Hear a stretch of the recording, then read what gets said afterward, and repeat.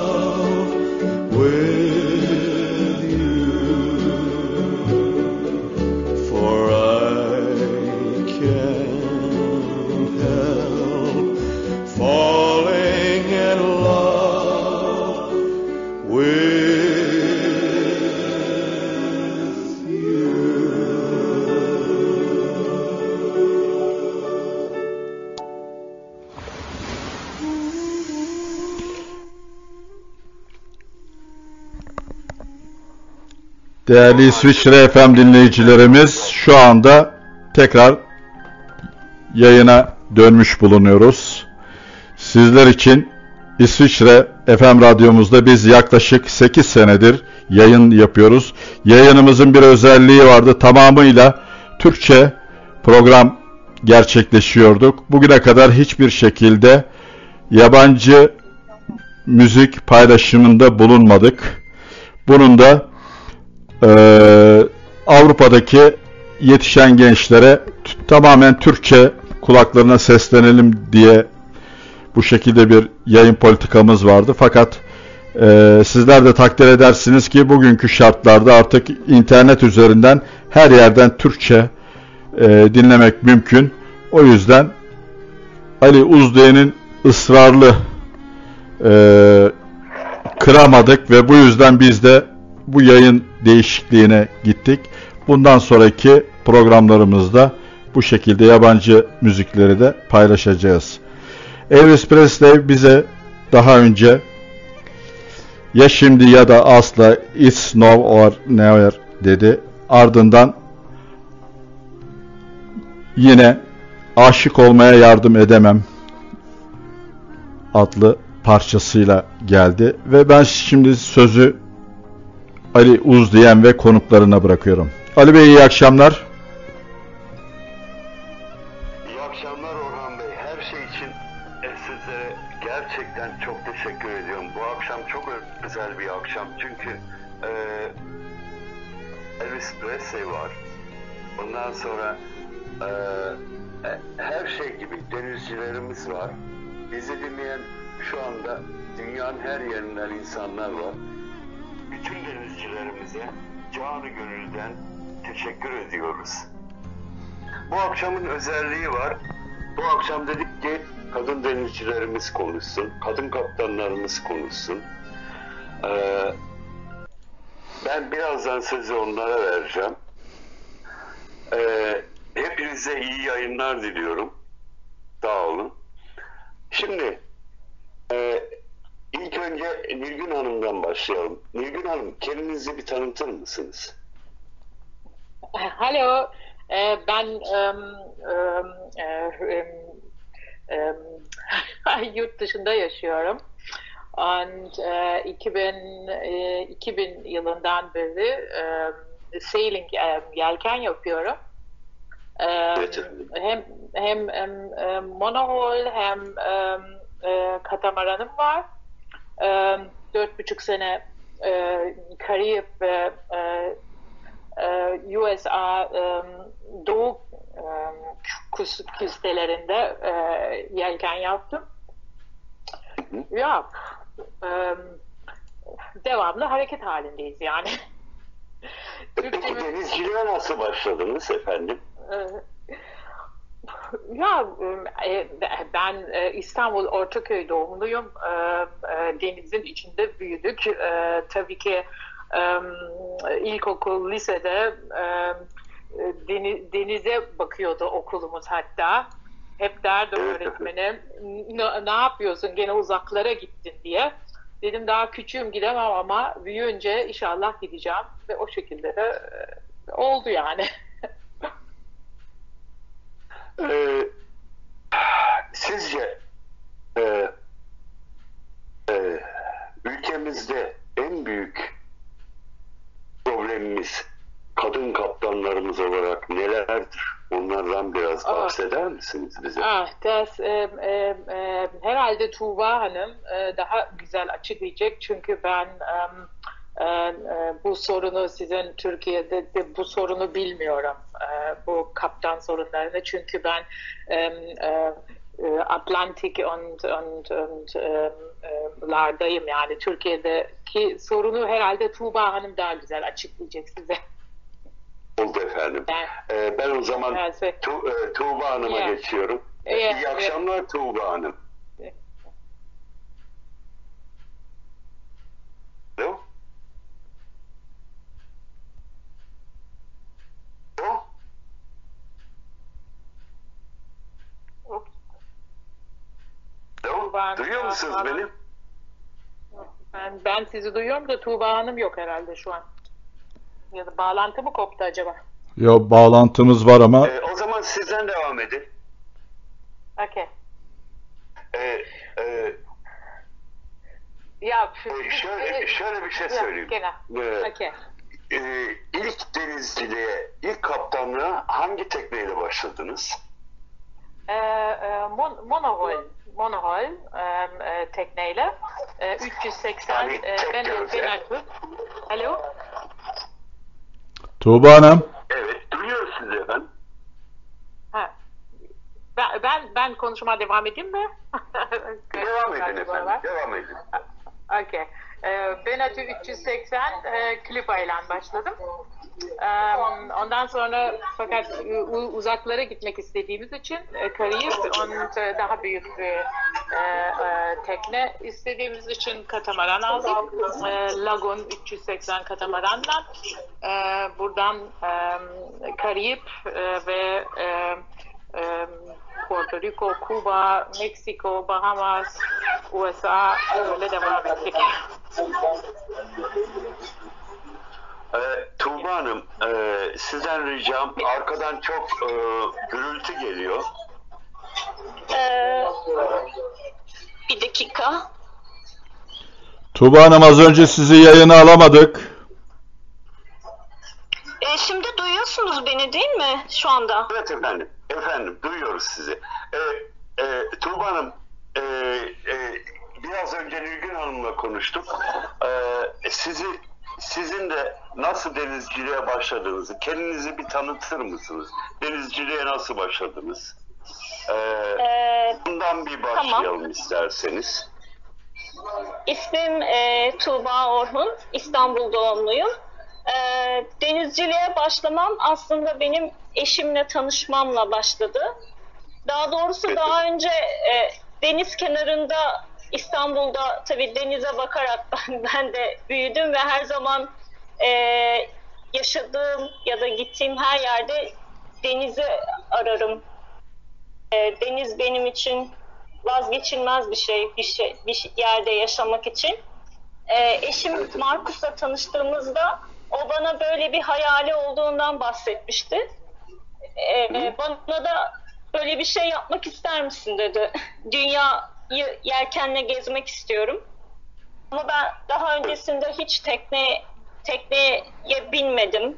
Daha önce hiç e, birkaç defa ya tabii İstanbul'da sürekli karşıdan karşıya geçerken kullanıyoruz ama hani böyle bir yelkene binip uzun bir seyahat yapmak gibi bir şey hiç düşünmedim. Ama Evet, ondan efendim. sonra aklıma böyle bir fikir soktuktan sonra araştırmaya başladım. Ee, böyle bir şey yapılabilir mi? Çünkü daha önce hiç etrafımda hiç kimse böyle bir fikirle bana gelmedi ya da hiç böyle bir fikri olan bir insanla tanışmamıştım. Ee, daha sonra eşiniz- araştırmaya başladım. Affedersiniz. Eşim, e, eşiniz, eşiniz e, e, daha önce Deniz'le tanışmıştı herhalde. Deniz bilgisi vardı herhalde değil mi? Nereliz kendisi? Evet, o e, Avusturyalı. Avusturyalı, evet. Evet efendim. İyi denizcilerdir. E, e, onun dedesi e, de denizi ve yelkeni seviyormuş sanırım ve küçüklükten beri onunla beraber Hırvatistan'da falan ya yakın olduğu için orada deniz olduğu için Evet, Avusturya'da deniz deniz yok ama Avusturyalı gerçekten çok denizci var. Yolda da çok karşılaştık. İsviçreli, Avusturyalı. E, sürekli Efendim şöyle bir şey söylemek ona- istersem Banu Hanım aranı, araya giriyorum. Ee, Avusturya'daki göllerdeki e, yelkenli sayısı bizim Türkiye'mizden daha fazla biliyorsunuz. Ve e, Avusturyalılar iyi denizcilerdir. E, genellikle e, Hırvatistan çok yakın olduğu için İyon denizini kullanırlar. Buyurun efendim sözü size bırakayım.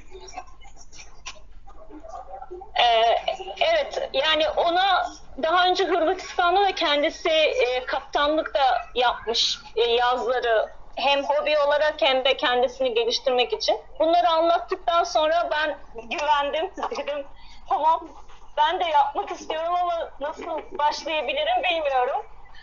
Sonra dedim tamam ya bir kurs yaptım İstanbul'da bir aylık dört haftalık bir küçük bir kurs işte yelkenli ile ilgili genel bilgiler ne nedir. Çünkü bana e, dedi ki tamam ben sana yolda her şeyi öğreteceğim. Zaten yolda öğreneceksin. Bu pratik öğrenilecek bir şey. Sana oturup Genel. tamam e, bakacaksın kitaba. Ki kitap da aldım, okudum falan ama dedi ki görmen lazım, yaşaman lazım. Ama bundan öncesinde ben panik, panik atak hastasıyım. No, eskiden, şimdi artık yendim yelkenliden sonra. Normalde uçağa binemem, sallantılı yerde duramam. Karanlıktan eskiden korkan bir insandım. Dedim ki bak ben böyle bir insanım. Yani yelkenliyle yapıp seyahat edebilir miyim bilmiyorum. Sonra biraz araştırdım. Tek, e, o dönemde YouTube'dan işte birkaç kanalı izledim falan. İlk izlediklerim bayağı kötüydü. İşte böyle fırtınalar, şeyler falan gösteriyordu. Dedim ben ölürüm herhalde. Yani Yunanistan'a gidemeden ben herhalde ölürüm beni gömersiniz falan dedim. O da dedi ki yok ya başka kanallara bakalım falan diye. Bana birkaç kanal önerdi kendisinde takip ettiği. Ee, Sailing Uma mesela. Hala da izliyorum, seviyorum onları. Ee, sonra tesadüfen e, Faho Kaptan'ınkine denk geldim kanalına kendim bularak işte Karayiplerle ilgili araştırma yaparken falan. İşte bunları izlerken falan baktım Sailing Uma çok güzel böyle geziyorlar çok güzel yerler.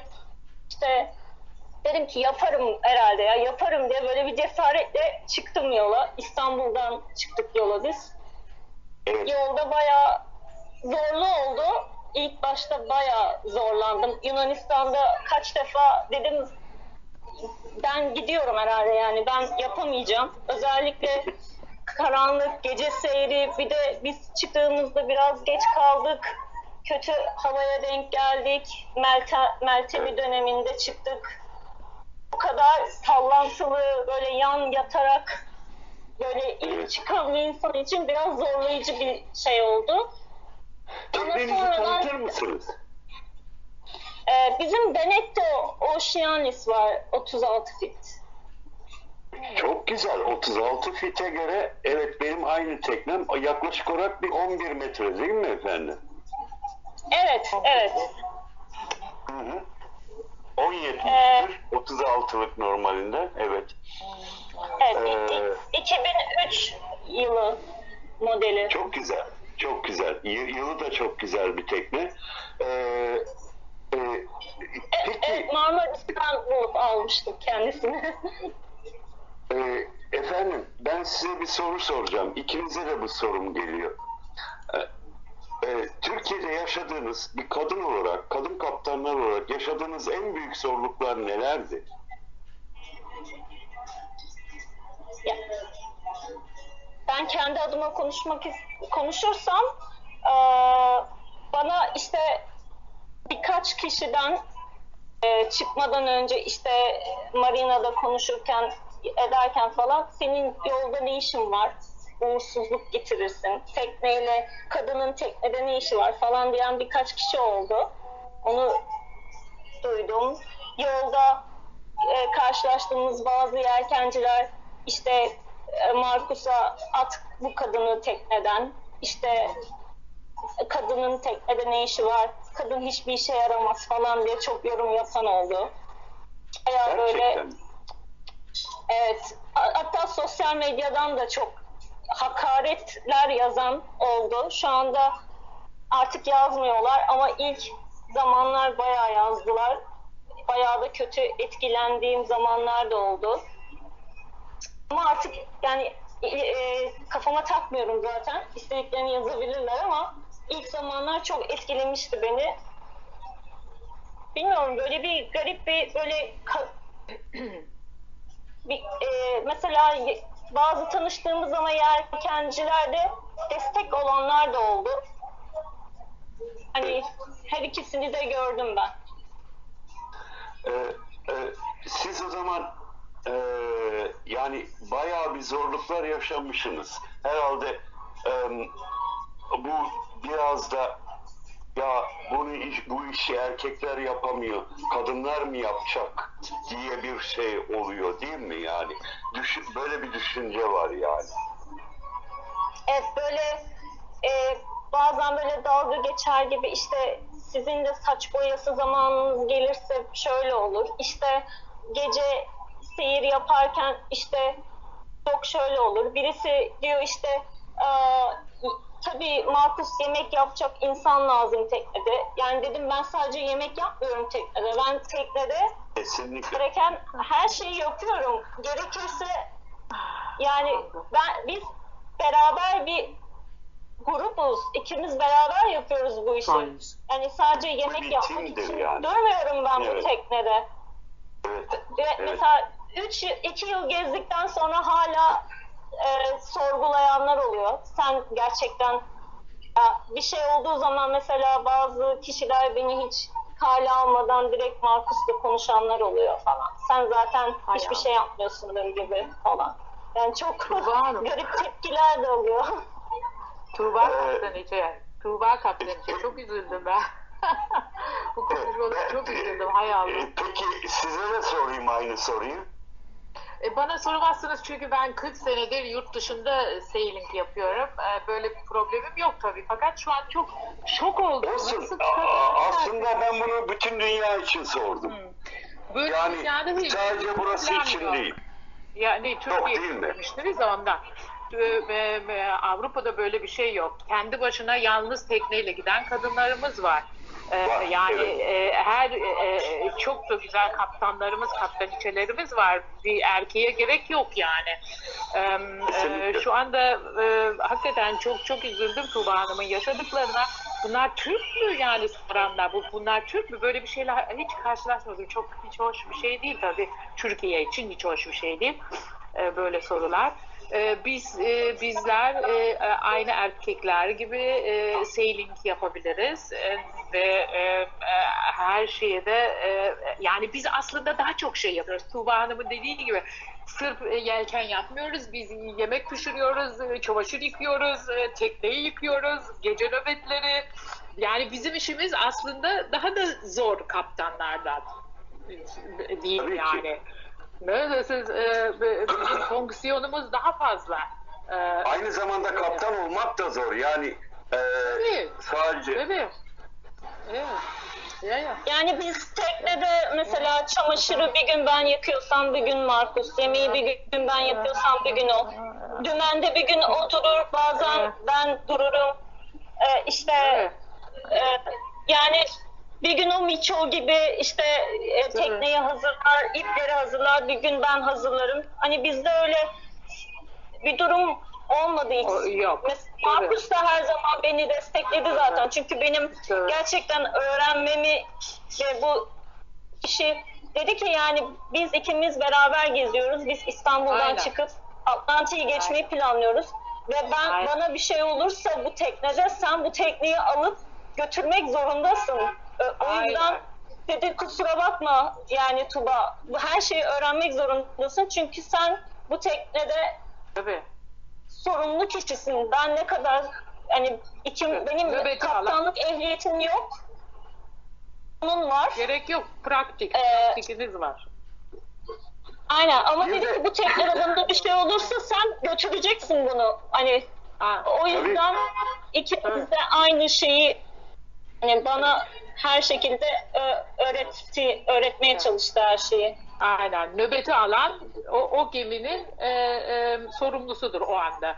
E, Biz Atlantik'i geçtiğimiz zaman ya da Atlantik'te Kuba'dan Meksiko'ya falan gittiğimiz zaman 4 saat 4 saat nöbet içinde o anda nöbeti dümene alan sorumludur tekneden. E, e, Tuğba. Hanım'ın dediği gibi e, e, Shine yani e, e, kaptan e, şeyi yaptım e, o Belgesi. Türkçesine eh, genau teşekkür ederim. Kaptan Belgesini belgesi. yaptım diye genau. Böyle bir şey değil. Bu tabii Tuğba Hanım'ın çoğu kaptanın eline e, su dökecek e, bilgisi vardır. Çünkü bunu yaşayarak, deneyerek yaptı. E, bu bunlar tabii e, e, dediği gibi aynen e, kim e, dümeni ele alırsa o sorumludur ve birinden birine bir şey olduğu zaman o tekneyi yalnız başına e, emele ulaştırmak e, e, bir amaç. O yüzden dayanıklı dayanıklı çalışmak lazım, organize e, çalışmak lazım. E, aynı onun sorumluluğu e, kaptan ya da kaptançelerin her her ikisi de yarım yarımdır. Her sorumluluğu alırlar üzerlerine. Evet. Ya, das ist yani o zaman bizi ya Ee, bir şey soracağım. Ee, bilmiyorum o filmi seyrettiniz mi? Hani e, bir e, e, bir kadın erkek arkadaş ediniyor ve birlikte e, bir tekneyi Amerika'ya götürmek için yola çıkıyorlar. Böyle bir film vardı. Ee, ismi tam şu anda aklıma gelmiyor ama bayağı güzel bir filmdi. Sonuçta erkek arkadaşı ölüyor ve kadın tekneyi bir buçuk metrelik yelken yelkenle yelken direği çıkarılıyor çünkü bir buçuk metrelik e, e, o filmi izlemenizi e, ta, e, önemli önemli rica ediyorum gerçekten güzel, güzel, bir güzel film bir fikir. Ya, çok güzel bir şey muhakkak. Em, e, görmedim herhalde yoksa hatırlardım. Daha değişik e, formlarda gördüm ama o filmi görmedim herhalde. Evet, e, deniz e, deniz e, kendi başına çok değişik bir şey. Denizden ne kadar e, e, denizden korkmak da gerekir. Öyle kendine güven, Respekt. denizde genel respect. Kendine güven, e, respektlosigkeit e, e, denizde çok e, tehlikelidir. E, ne olursa olsun devamlı büyük bir respektle e, denize e, devam etmek lazım. Yani e, kendinden kesinlikle e, güvenmeden hep Evet. dikkatle e, yolculuk yapmak lazımdır. Siz, siz de o. ya. Şimdi e, bir de mutlaka e, güzel anılarınız olmuştur. Böyle ilginç Ah, bir anınız var mı acaba? Tabii tabii tabii. Mesela e, Puerto Rico'dan e, sabah kalktık San Juan'dan e, e, Kuba'ya doğru yola çıktık. E, biliyorum o e, zaman e, e, Ocak, Şubat gibiydi. E, balinaların e, göç ettiği zamandır. Ben tabii hep dümende devamlı bekliyorum. Bir tane balina göreceğim falan diye. Ondan sonra böyle bir mile önümde, böyle yarım mile önümde sol tarafında iki tane balina kuyruğunda nasıl böyle yukarı çıkıp. Oo, ben heyecandan böyle mahvoldum, inanamıyorum. Ve o an sağ tarafa baktım. Sağ tarafta kocaman bir şey. Dedim ya bu ne? Bu acayip böyle mavi deniz bu kadar derin denizde bu kadar açık mavilik olmaz derken o an bir çevirdi kendini e, büyük mavi balinaymış. O öyle diyorlar Evet. herhalde sizin esinize. Ve benim tekneden büyük. Yani bizim katamarandan büyük. Elimi elimi sürsem dokunacağım. O anın güzelliğini, o anın e, içimdeki duygusu anlatamam. Hem korktum, sakın kuyruğunu çıkarma, sakın kuyruğunu çıkarma bekliyorum. Hem kafamdan binlerce soru, ay diyorum niye kent hep bir resim çekebilseydim onu düşünüyorum. Bir anda elimi uzatıp sevmek istiyorum. Yani o anı kesinlikle unutamam. Çok muazzam bir şeydi ve hakikaten muhakkak bir 15 15 metre büyüklüğünde bir balinaydı ve en son hafifçe aşağı dalarak geçti. teşekkür ederim, teşekkür ederim, teşekkür ederim çıkmadı diye dev- devrilebilirdik yani. Böyle güzel anılar da var. Tuğba Hanım sizin var mı böyle bir şeyiniz, anınız? Ama birçok anı var aslında hangisini her gün başka bir macera gibiydi. Çünkü gerçekten tekneyle özellikle e, seyahat etmek, e, şi- e, ülke geçmek çok başka bir duygu. Yani e, her gün başka bir macera, her gün başka bir olay, e, her gün başka bir doğa harikası, harikasıyla karşılaşıyorsunuz. Mesela İspanya'da bir kere bir sabah uyandım, etrafımda 100 tane yunus zıplıyorlar aynı anda. O İnanılmaz. inanılmaz güzeldi. Şey. Amerika'da geçişte böyle bir anda ge- geldiler yine hep beraber. O sesler, o e, zıplıyorlar etrafında oyun oynuyorlar falan. Gerçekten e, yelkenle seyahat etmek ayrı bir his.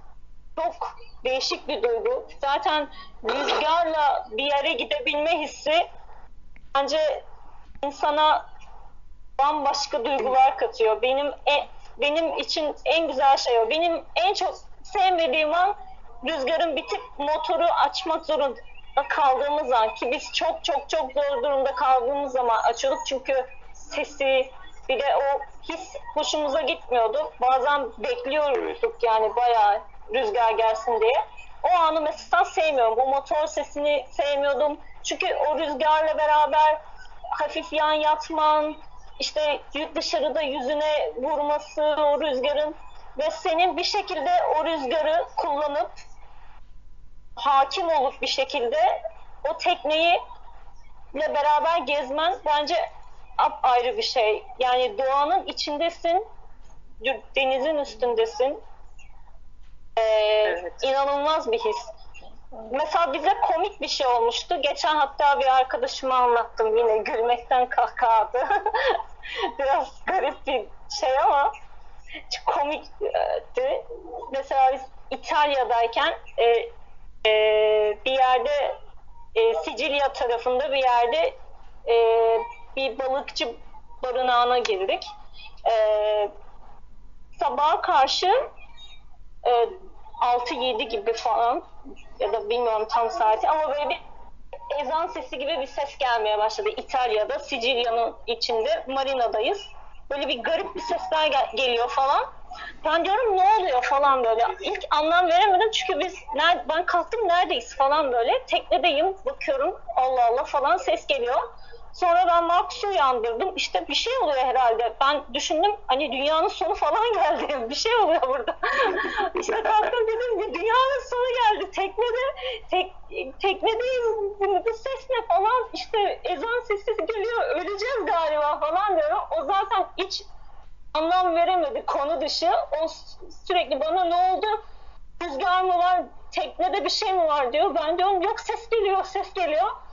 Sonra dışarı çıktık. Ertesi gün ben biraz böyle artık sakinleştim ses gittikten sonra. Dışarı çıktık işte dolanıyoruz insanlara soruyorum ya ezan sesi duydum dedim. Gerçek mi? Çünkü Avrupa'da daha önce ben hiçbir yerde ezan sesi duymadım yani. Hani Evet. ben mi yanlış duydum? Biz merak ettik Markus'tan dedik ne oldu? Gittik işte insanlara sorduk bu gerçekten ezan sesi miydi başka bir şey mi? Hani biz merak ediyoruz biz burada hani yelkenle geldik falan diye kendimizi tanıttık. Sonra şey dediler, Sicilya özel bir bölgeymiş ve bütün dinlere eşit derecede e, kültürel açıdan e, hepsi böyle bir harmanlandığı için bütün dinlere de aynı şekilde saygı gösterdikleri için sadece o bölgede ezan okunmasına izin veriyorlarmış. Ama ben İnanılmaz böyle küçük çaplı bir küçük çaplı bir kalp krizi geçirdim. Yani inanılmaz bir şey. İtalya'nın en kuzeyinde ve en güneyinde pardon. yani Sicilya'da ki Sicilya'da bu böyle bir şey yaşamak gerçekten ilginç bir şey. Anlattığınız şey Sicilya'da çok gerçekten e, ilginç çok bir şey. iyi- çok Müslüman yaşıyor Sicilya'da. Ben iki buçuk sene kaldım Sicilya'da. Bilirim. Ama ezan hiç duymadım da tabii e, ama e, çok çok fazla e, Morokolular, e, Müslümanlar var orada. Evet. Ama Ee, şey Karayipler e, şunu söyleyeyim bir de Karayipler'de yelken yapmak ayrı bir his. Mesela biz e, 2018'de başladık İstanbul'dan. E, daha sonra Valencia'da 6 ay kışladık. Daha sonra 2019'da Atlantik'i ben geçişe katılamadım vize sorunları yüzünden. Markus ve arkadaşımız Alberto geçtiler. Hala bu içimde bir acı. Bir gün geçeceğim inşallah. Evet. Ee, Aslında belli belli bir sorunlarımız var değil mi? Yani amatör denizci olarak eğer Türkseniz, Türk vatandaşıysanız e, dünyayı Ya. pek fazla şansınız yok. Her taraftan vize almanız gerekiyor. A- aslında e, yani e, aslında çok e, şimdi yine bir konuya değineceğim. Aslında amatör denizcilere e, dünya denizlerinde serbest kullanım yani dolaşım hakkı verilmesi lazım.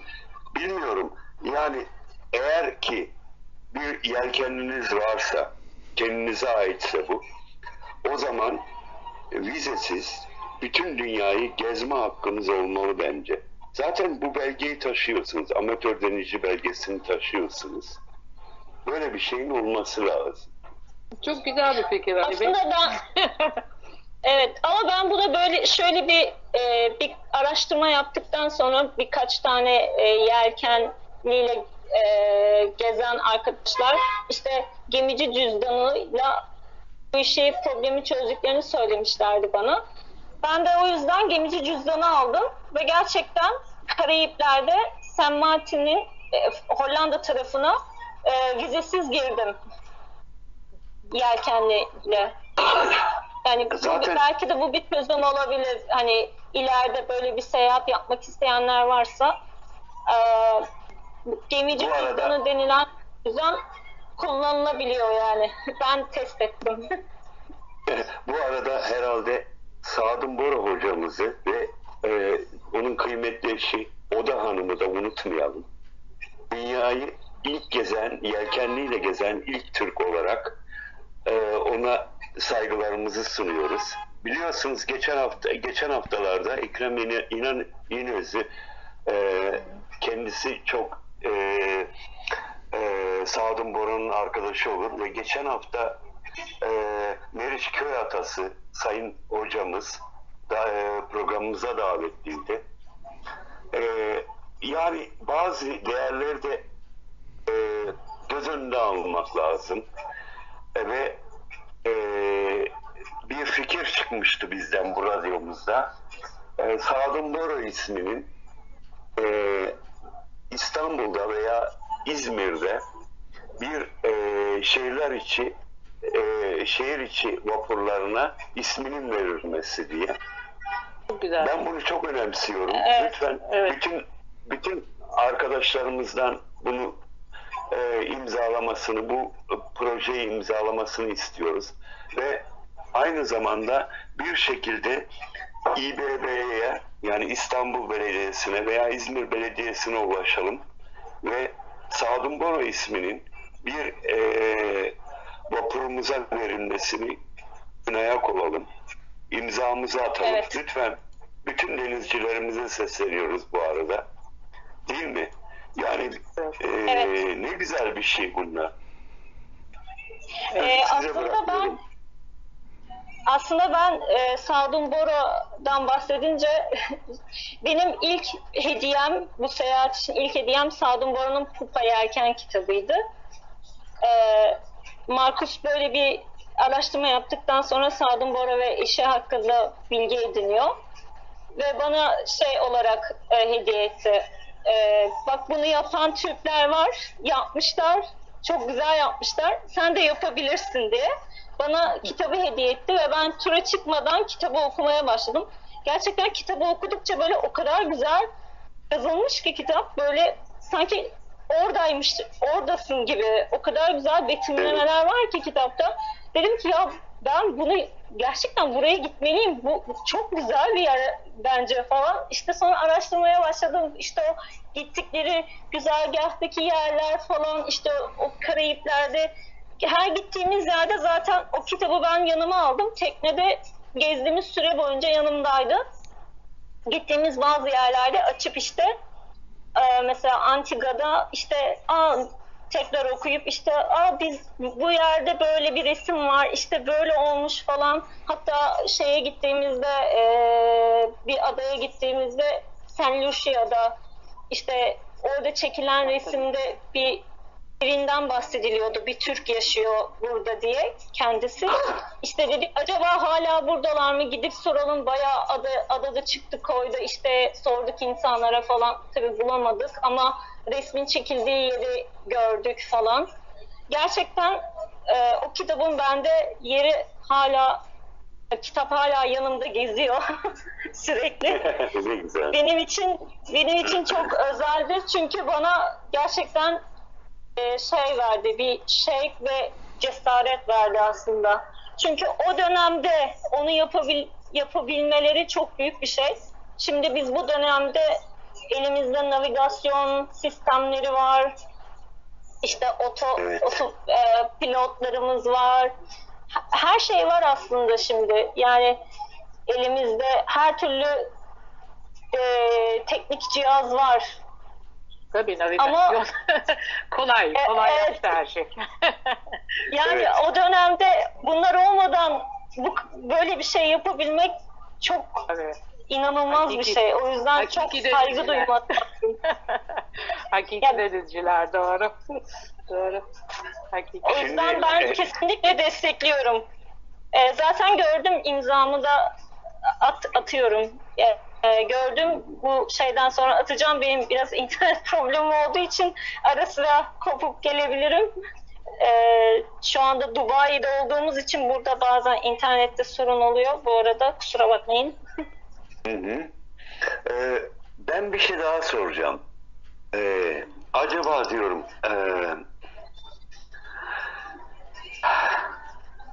ö- ee, şey açısından biraz da doğaya gidelim. Ee, ikiniz de iki kaptanım da herhalde e, Yunanistan'ı gördü değil mi? Bize en yakın kıyı olarak bahsediyorum. Ali Bey, Buyurun. müsaadenizle bu konuyu ikinci bölümde başlayalım. İki güzel bir Elvis Presley'den parça paylaşmak istiyorum. Bu arada konuklarımız bir nefes alsınlar. Bu arada İsviçre FM sayfamıza iki güzel mesaj ulaştı. Onları da ben buradan duyurmak istiyorum. Müsaadenizle bu iki parçadan sonra söyleşiye devam edelim. Mümkün müdür? Tabii ki. Teşekkür ediyorum.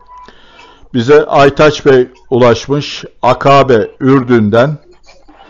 Amatör denizcilikte olduğu gibi ticari denizcilikte de kadınlarımızın daha fazla aktif olarak yer alması dünya denizlerini daha da güzel, daha da mavi yapacaktır. Selamlar, iyi yayınlar diliyorum demiş. Diğer bir mesajımız da yine Antalya'dan bize ulaşmış. Betül Tekin Hanım Kekova'dan. Sadun Boro için isminin bir gemiye verilmesiyle alakalı olaraktan imzaladık ama oda kaptanın adı da eklensin diye bir öneri getirmiş. Sadun Bora'nın isminin yanına Oda Hanım'ın da eklenmesini teklif ediyorlar. Bu da güzel bir teklif. Birlikte bu seyahati yaptı. Evet. Bu da güzel bir teklif aslında. Bunu da buradan e, tüm dinleyicilerimize duyurmak istiyorum. E, bir duyuru da şununla alakalı yapmak istiyorum. Bu akşam canlı olarak yayınladığımız bu programımız program bittikten sonra İsviçre FM Facebook beğen sayfasında paylaşılacak bant alıyoruz. Kayıt altına alıyoruz. Daha sonra da izleyemeyenler veya tekrarını izlemek isteyenler konuklarımız belki özellikle iz, dinlemek isterler. Daha sonra o sayfadan ulaşabilecekler. Bunu da sizlerle paylaştıktan sonra Elvis Presley'in iki parçasını sizler için paylaşıyoruz.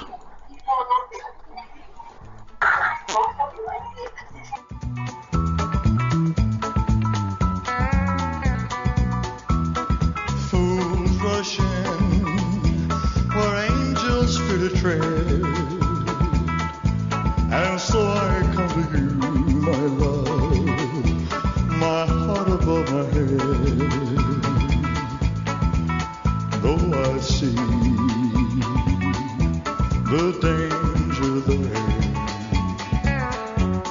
if there's a chance for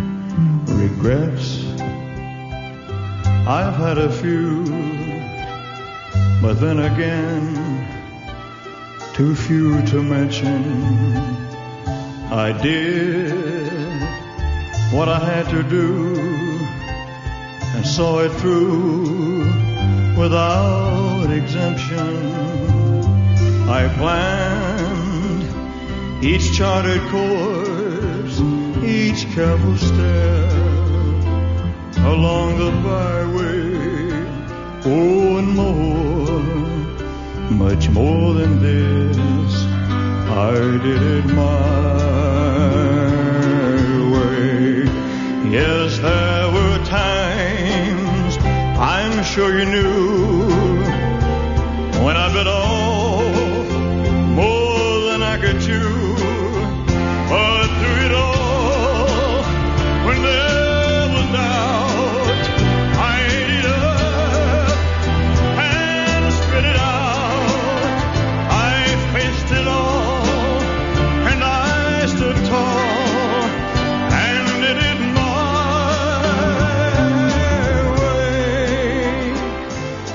loved, I've laughed and cried, I've had my fill, my share of losing, and now as tears subside, I find it all so amusing to think I did all that, and may I say, not in a shy way. Oh no, no, not me. I did it my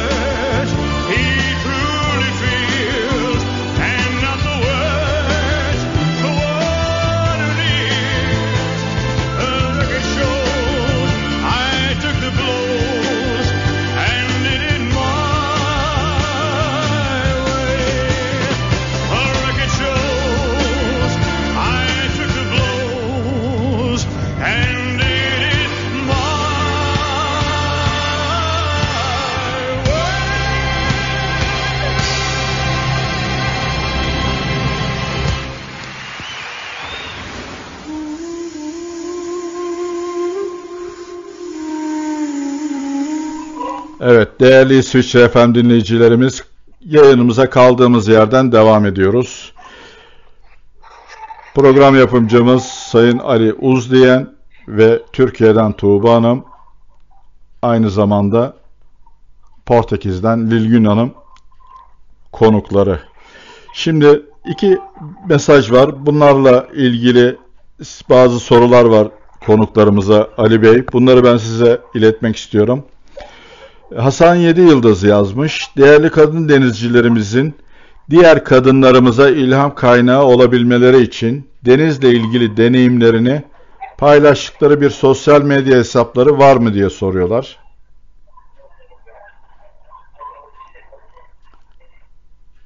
Evet. Evet.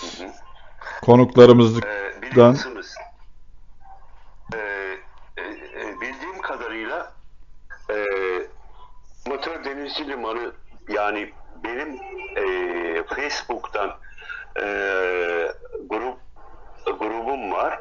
Biliyorsunuz 5 5000 üyeli. E, E, ve ayrıca monohull var bildiğim kadarıyla.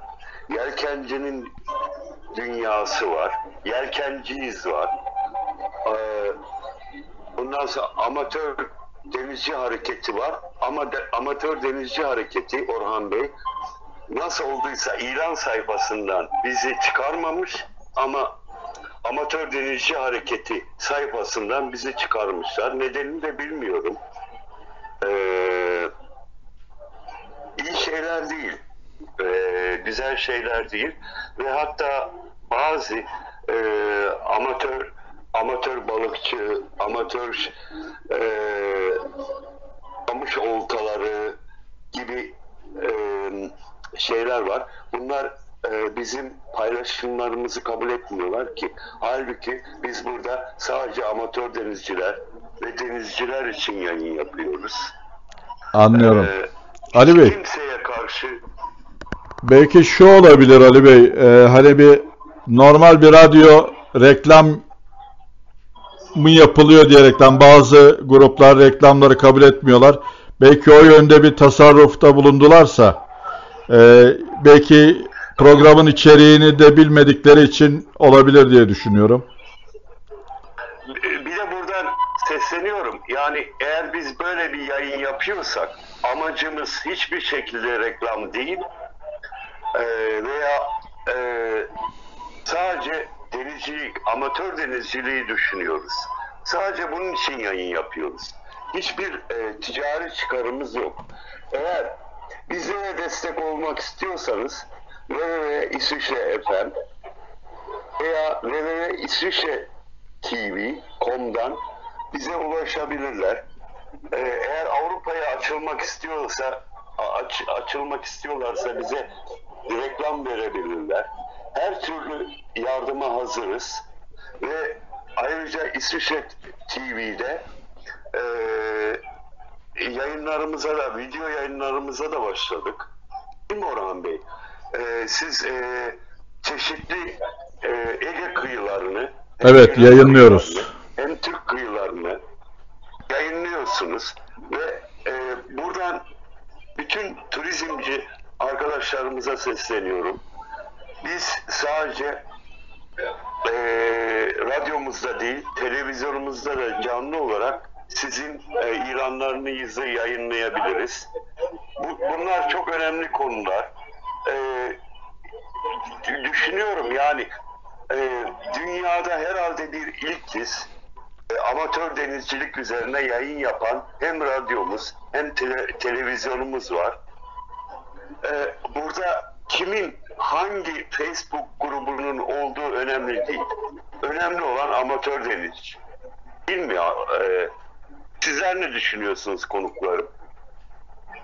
Çok güzel konuştunuz, ee, doğru söylüyorsunuz.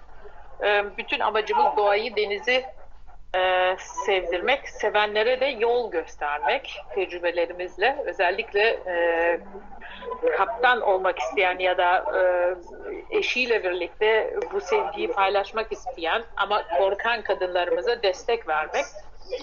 Ee, söyleyeceğim tek e, kelime eğer denizi doğayı seviyorsanız o korkunuzu yenmeniz için denizlere açılın ve göreceksiniz sizi denizler çok güzel bir şekilde e, karşılayacak ve bütün korkuları unutacaksınız. Her yaşanan gün değişik, her yaşanan olay e, e, muhteşem.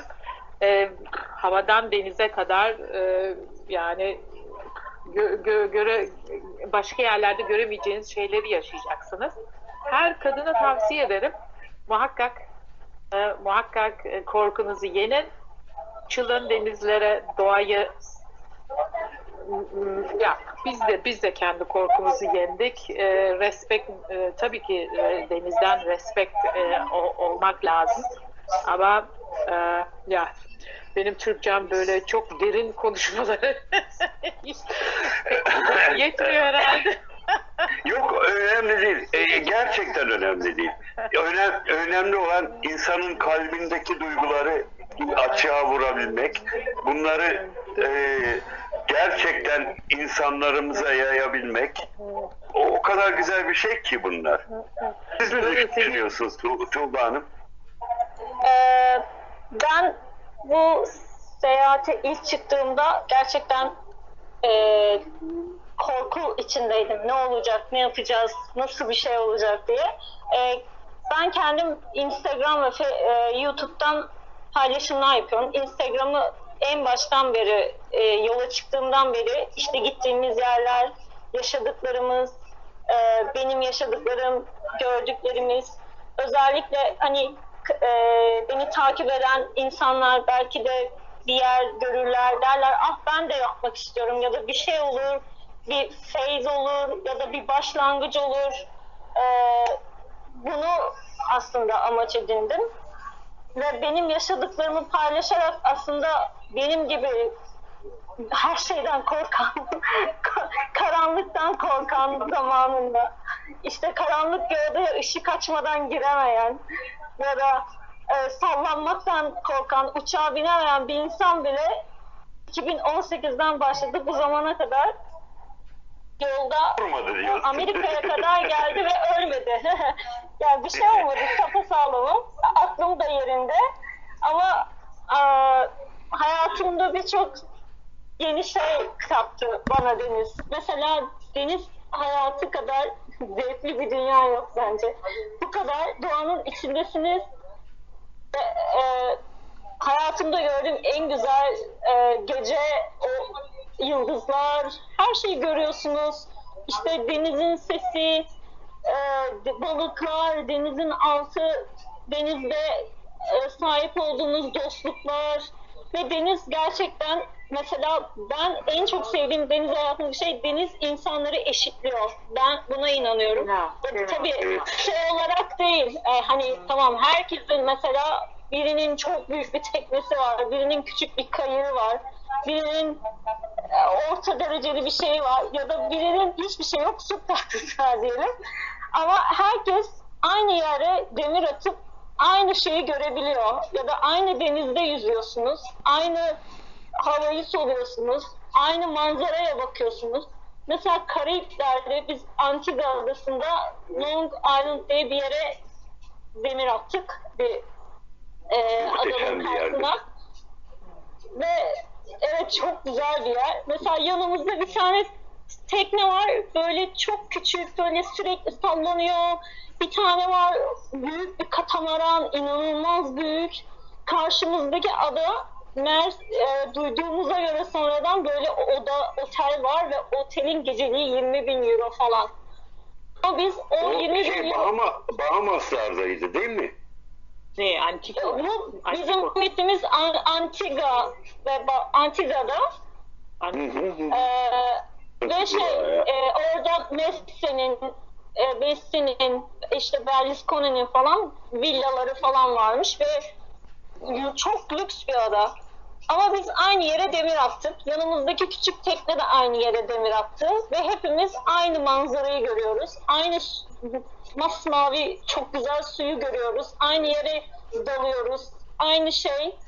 Sadece e, suyun üstünde durduğumuz tekneler belki başka ama o his aynı. Mesela bu benim için çok çok güzel bir şeydi.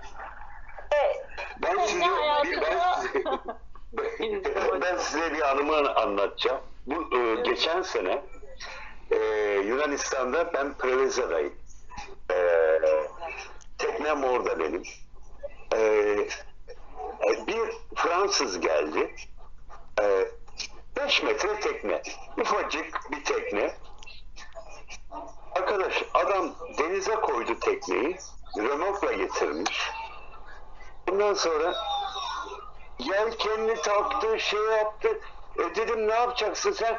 Ben dedi 3 ay şimdi denizde kalacağım.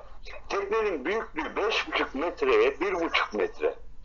Eşiyle birlikte bir mutfak yapmış, bir şey yapmış. Wow. Aa dedim beş buçuk metrelik tekneyle ya ceviz kabuğu kadar tekne ama işte denizciliğin sınırı yok. Yani beş buçuk metrelik tekne de oluyor. Aynen. 50-100 metrelik tekneler de oluyor. Ee, e, yani deniz o kadar sosyalist bir şey ki e, yani e, herkese yer var aslında. Tabii ama Doğayı şey koruduktan sonra. Ali Kaptan. Evet, güzel olan da bu. E, denize tekneye bindiğiniz za- zaman e, e, senin kategorin önemli değil. Önemli olan o denizdeki yaşamın. Hepimizin aynı sorunu var. Bugün ne pişireceksin? Nereden ne alacaksın? En en büyük süpermarket nerede? E, Baterin, bateri çalışıyor mu? Çamaşır makinen var mı? Çamaşırı ya da nerede yıkayacaksın? Onda rüzgar nerede? Nereye atacaksın? Bu konular. Sen nesin? Sen ne yapıyorsun? Senin işin ne? Ee, e, sen daha mı zenginsin? Sen daha mı fakirsin? Senin büyük. Bu yok işte. Bu bunun Yok. güzelliği bu. Zaten bu denizin güzelliği bu. Üzerinizdeki o e, gafleti atıyorsunuz ve çok yepyeni insanlar olarak birbirlerinizle bu bu güzel e, konuları konuşuyorsunuz. Sırf denizle ilgili. Bu, güzel olan bu zaten. O, orada kategoriniz yok. E, o, o da sizi insanlığa geri götürüyor tekrardan. Denizciliğin güzelliği bu zaten. Gerçekten öyle. ve denizde Peki, insanlar çok yardımcı oluyor. Denizde Aynen. tanıştığımız tamam İnanılmaz. e, ben İnanılmaz. birkaç Evet. kötü yorum almış olabilirim ama genel olarak tanıştığım herkes bana çok yardımcı oldu. Birinden yoğurt yapmayı öğrendim, birinden başka bir şey öğrendim. Bir, bir insandan işte onu öğreniyorsun bunu özellikle kadınlar mesela tanıştığım yolda denizde tanıştığım Türk ya da yabancı bütün kadınlar bana bir şey kattılar. Ee, o yüzden ve hepsi herkes bana çok inanılmaz yardımcı ve ellerindeki her şeyi paylaşmaya çalışan insanlardı. Biz de elimizden geldiğince yaptık ama mesela normal kara hayatına şu anda dö- dönmek zorunda kaldık ve ben o, o şeyi özlüyorum. O konuş mesela yan yana demir atıp konuşuyorsunuz hemen çünkü aynı şey yaşıyorsunuz. Evet. Tabii aynı sorunlar. Doğru.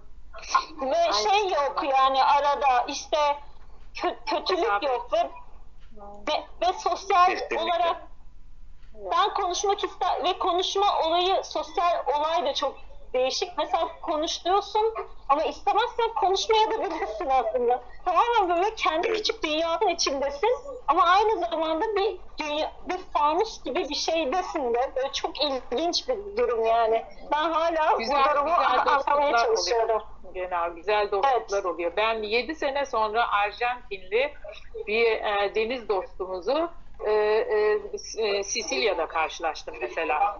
Bu, bu, bu inanılmaz bir şey yani. E, Evet. Bu, bu duygular çok güzel bir şey. Aa, sen ne yapıyorsun burada? O Monaco'da görmüştüm mesela 7 sene evvel. Tekrardan e, e, Zardinya'da sonra tekrar buluştuk. Hala kontaklarımız var. Hala görüşürüz. Hala bilgimizi paylaşırız. E, bu sene hangi sezon, hangi, hangi limandasın, hangi ülke, e, hangi liman daha iyi, and, e, orada ne ödüyorsun, orası daha mı ucuz? Bunlar bu konular. Bu, bu yaz nereye sailing yapıyorsun, e, yelken nerede? Yani çok güzel arkadaşlıklar, çok güzel dostluklar Evet. e, e, oluyor. Tabii. Doğru. Peki, e, peki bir de doğa, doğaya gidelim. Bütün Ee, doğadayız. Ama başka bir şekilde. E, şimdi ben size bir soru soracağım. E, İkiniz de, iki kaptanımız da e, Ege Denizi'ni dolaşmıştır. Ege Denizi'nin Türkiye kıyısını Ah, E, e, bunun yanında bunun yanında diğer denizleri de dolaştınız. Ege Denizi'nde niye balık yok? Evet buna ben de çok şaşırmıştım çünkü karşı Yunan tarafına geçtiğiniz andan, andan itibaren böyle kaynıyor resmen deniz, deniz gibi. Yani Hı hı, ve e, deniz da koylar çok temiz. Ben Hı?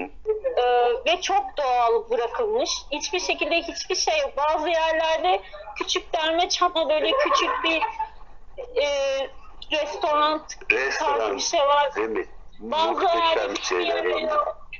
ve o kadar olduğu gibi bırakılmış ki e, ve gittiğiniz her yerde mesela kalamar biliyorsunuz genelde ve fiyatı inan, inanılmaz uygun.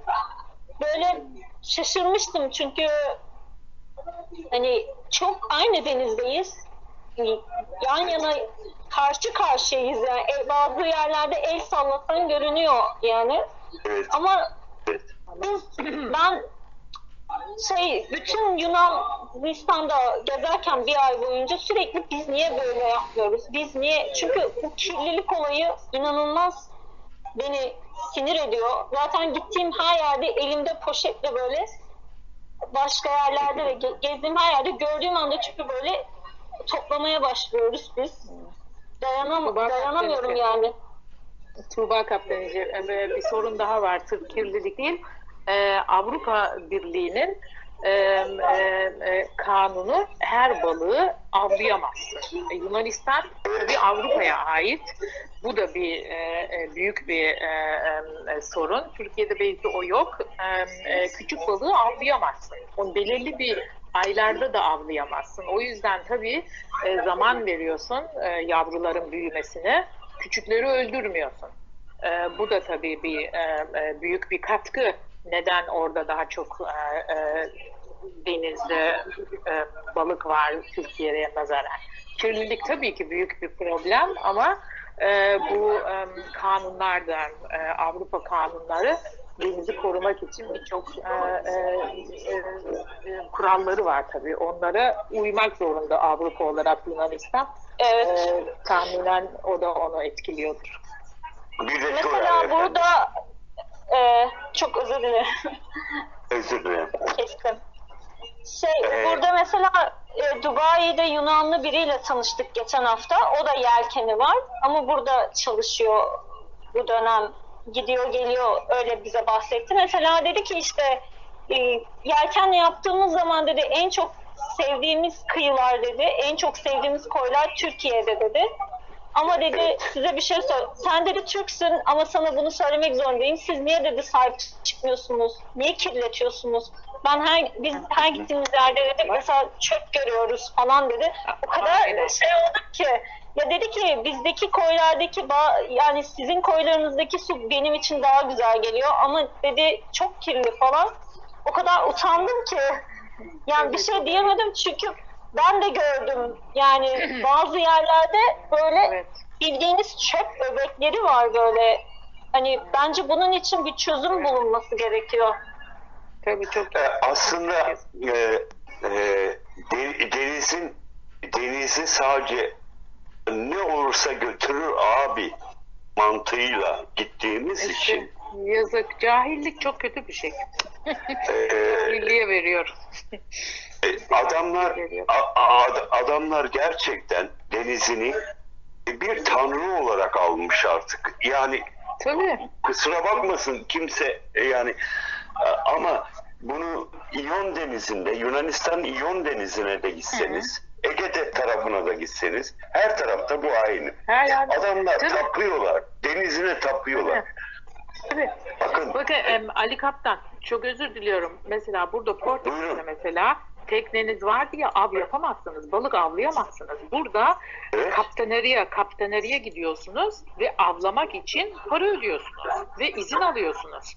İzin alıyorsunuz, gösteriyorsunuz. Burada avlamam lazım. Ben avlamak istiyorum. Bir balık avcısıyım diye. Zaten bu balık avcıların da e, belgeleri var aslında Avrupa'da. belgeleri var tabii. Tabii belgen olduğu zaman onu sana veriyorlar. Belirli bir para ödüyorsun. Ondan sonra avlayabiliyorsun. Sen şimdi buradan bir Türk teknesi gelip de e, balık avı e, e, ehliyeti olmadan, balık avı müsaadesi olmadan avlandığı, avladığı zaman mesela yasaktır.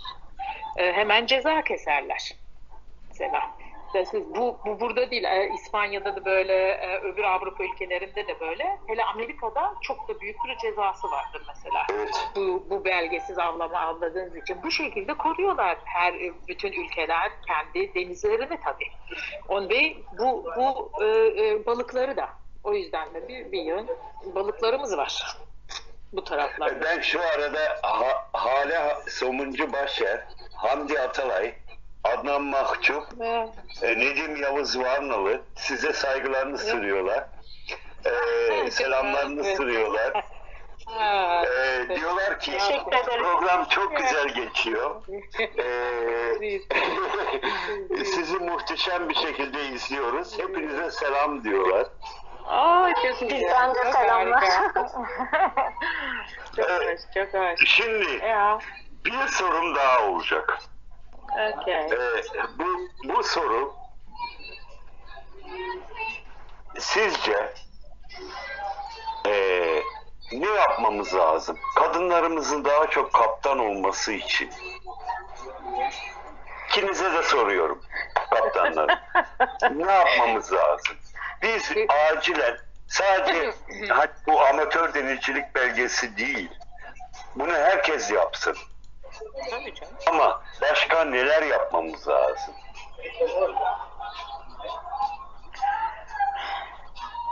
erkeklerimizin kafasını değiştirmek lazım.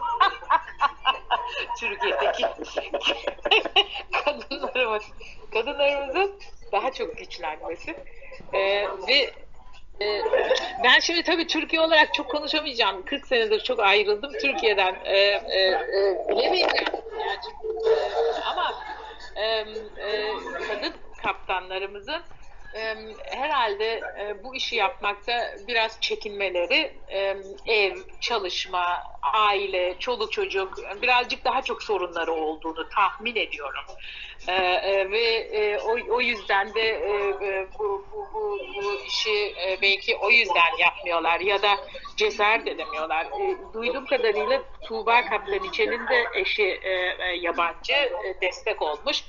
Ee, yani dediğim gibi erkeklerimizin kafasını değiştirmek lazım ki kadınlarımıza daha çok destek olsunlar. Yani Türkiye olarak konuşuyorum tabii. Ee, e, Avrupa'da tabii bu böyle bir sorun yok. Ama Tuğba Kaptanike belki daha güzel bir cevap verir bilemiyorum. O tabii Türkiye'den geliyor.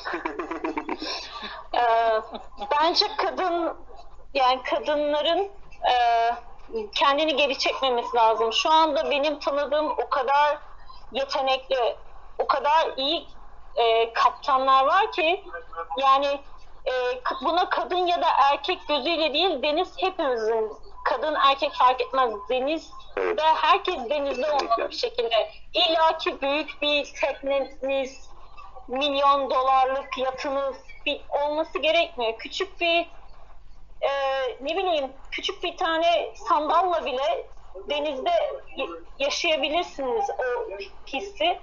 İlla ki böyle çok zengin, Türkiye'de bazen öyle bir durum oluyor. Böyle çok zengin, çok lüks işi bir şey gibi düşünülüyor. Böyle hani olmaz falan gibi düşünülüyor. Ama aslında e, yani kendi bütçenize uygun denizde olabileceğiniz e, şeyler bulabilirsiniz. Tabii şimdi biraz marina fiyatları da o durumda etkiye giriyor ama tabii daha bu şey durumdan konuşarak yani istediğiniz gibi kendinizi geri çekmeden kendiniz e, cesur olarak çünkü bazen bazı kadınlar tepkilerden korkuyorlar. Alacakları tepkiden Evet. ya da etrafındaki insanların yadırgamasından ya da e, verecekleri kötü tepkilerden korkuyorlar. Ama bence korkmamalılar ya da çekinmemeliler. İstiyorlarsa bunun üzerine gitmeleri lazım. Ben gemici cüzdanı alırken 20 kişilik sınıfta biz iki kadındık mesela.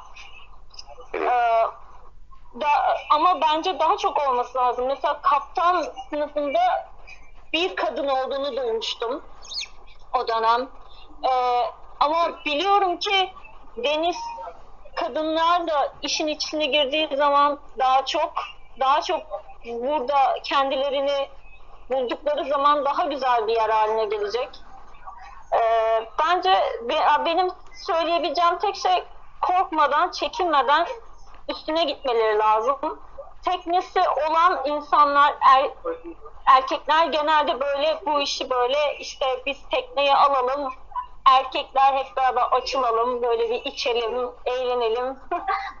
bazen duyduğum şeyler hepsi değil ama hani bazen öyle şeyler de duyduğum oluyordu. Hani biraz daha böyle e, kendileri için alıyormuş gibi. Ama bence e, bu işi böyle karı koca beraber yapmaları lazım. Ama kadınların da böyle kendini geri çekmemesi, e, gerektiği zaman dümene de geçmesi lazım. Gerektiği zaman tekneyi işte marinaya park etme yani e, yapması lazım. Tabii, Gerektiği zaman lazım. Aynen. Ge- Bunun hepsine girmesi lazım. Böyle tekneyi içine oturup da hani kendini şey e, ben sadece bu teknede yemek yapacağım. Başka hiçbir şey yapmayacağım. O şekilde de görmemesi lazım. Çünkü e, böyle bir şey yok. Siz Peki her şekilde Şimdi- içinde olmanız lazım bence. Benim fikrim. ben, ben sizce kadın kaptanlar olarak soruyorum. Şimdi belki de bana ha- Hale kaptanım veya e, Ham, e, Hamdi kaptanım karşı çıkacak ama ben bir soru soracağım. Monohul mu? Tamaran mı? İkisi de. İkisi de. bir kadın kaptan ne düşünüyor mesela? ya biz kadın kaptanlar için tabii e, gerçi Ne önemli? Sizin için ne önemli mesela? ya konfor. Konfor. Bizim e, e, uzun yolculuk için yani benim benim hem monoholum var hem e, e, e, e, katamaranım var. E, eğer çok canım istediği zaman böyle Şanslısınız ama. regata yapmak istediğim zaman monoholü alıyorum tabii. Ama uzun yolculuk yapmak istediğim zaman katamaranla gidiyorum. Çünkü I'm, einfach, einfach daha e, e, komfortabel. Das ist es. Banu Hanım siz ne düşünüyorsunuz?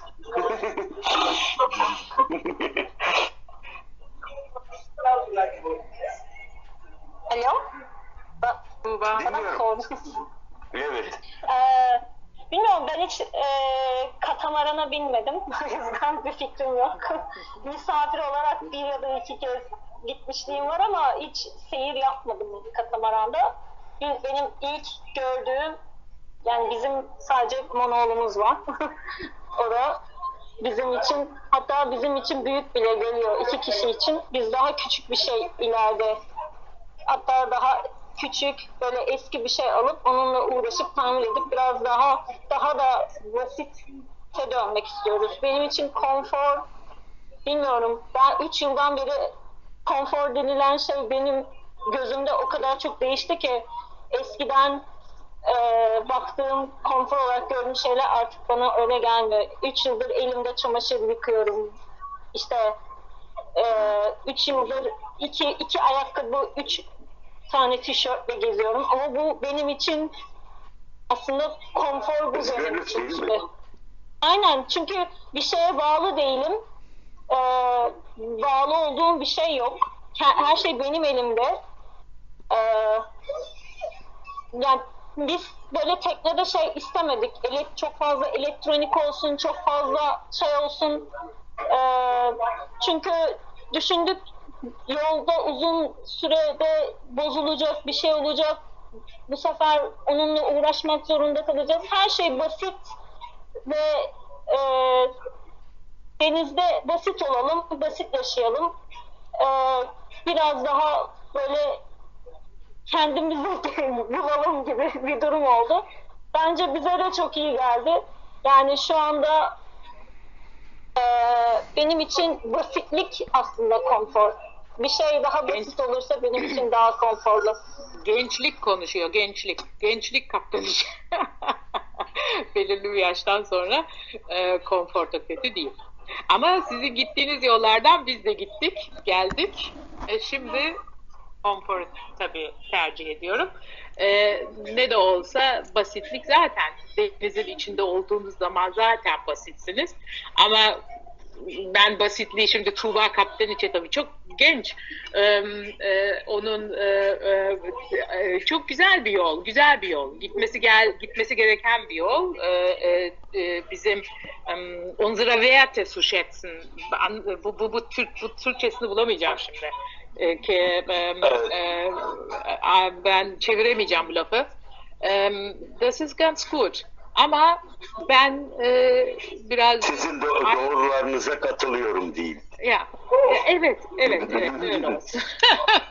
öyle olsun. Evet, e, yani bilmiyorum ileride belki de fikrim değişir ama Tabii mesela tabii. tabii. mesela Watermaker olmadan yaşayamam diyen insanlarla tanıştık mesela. Ama bizim hiç Evet. öyle bir şeyimiz olmadı mesela. Ya. Ve ben ben e, Akdeniz'de yaklaşık 3-4 ay boyunca hiç sıcak suyla e, bir duş almadım. Hatta Yunanistan'da bir ay boyunca sürekli bu plajlardaki böyle e, plajlardaki yerde duş, duş aldım yani. Çünkü Normal. teknede su çok değerli olduğu için tekneden Tabii. olabildiğince az su kullanmak Gerçek için yıkamak böyle lazım. Tabii dedim ya Çeş- o yolları gitmek lazım. çeşmede çamaşır yıkadım falan. Aynen. Yani bu benim için ilk, ilk garip Güzel. geldi. Hatta ilk utandım ama ş- şimdi Aha. diyorum ki iyi ki yapmışım yani. Çünkü böyle başka bir dünya oldu benim için. Pardon. Güzel Pardon. bir şey oldu. Bilgi. Aynen. Yine kısa bir ara verelim o zaman. Aynen. Aynen. İzninizle kısa bir ara verelim.